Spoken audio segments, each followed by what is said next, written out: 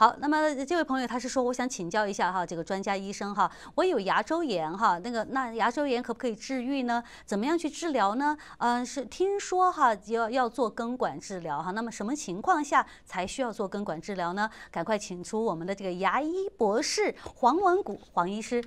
啊，黄博士你好。哎，你好，哎不敢不好意思，不敢称是专家。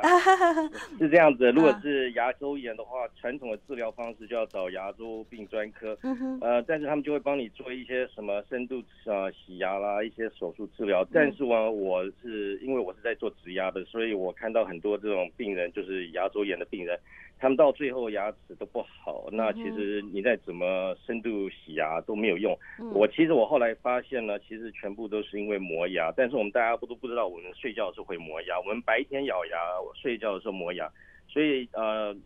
全全世界只有我这样想吧。那我认为呃，其实全部牙周炎都是因为磨牙来的。所以后来我都给我的病人。啊，给他们戴一个呃，睡觉的时候戴的那个什么呃磨牙呃防止磨牙牙套是不是？磨牙牙套那个叫嗯 Nigard，、那大家可以上网自己查一下，这个东西已经发明八呃可能已经八九十年、一百年了。嗯哼，然后很多病人来找我的时候，以为说是需要拔牙要做植牙，结果我跟他们说，你可以试试看戴这个磨牙牙套，结果他们有一些牙齿就变好了。当然有一些嗯如果已经太严重就没办法，但是我都认为说，只要在差不多十二三岁以后，还是说矫正完后赶快戴一个磨牙牙套，他们牙齿那个破坏的速度会减少。那为什么会磨牙？请问你有没有听过咬牙切齿、咬紧牙根、渡过难关、恨得牙痒痒的、恨得牙痒哀哭切 对对哀哭切齿、切齿痛恨，这五句话都跟牙齿有关系，都跟我们的心情有关系的。哦，那就是半夜磨牙，这个也没办法控制嘛，对吧？你自己也搞不清楚，所以就戴一个这个防止磨牙的这种牙套，会相对来说保护自己的这个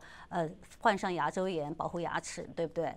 对，嗯因为呃，我们睡觉的时候，你说不要说什么，我们讲梦话，我们翻身，我们做什么都不晓得，而且有时候做噩梦什么都一大堆嘛。对，对对，嗯所以所以大家都不连连牙医都不晓得，牙医都不晓得说其实牙齿是这样，所以我都说我自己是未来的牙医，因为我觉得越未来牙医的的趋势一定是这样子，不然就是可能靠打肉毒杆菌吧，因为你打肉毒杆菌，你的肌肉就不能动，就可能不能磨牙。但是目前为止，牙医们都没有往这个方向在研究。嗯，肉毒杆菌现在大家都是在拿来美容用吧，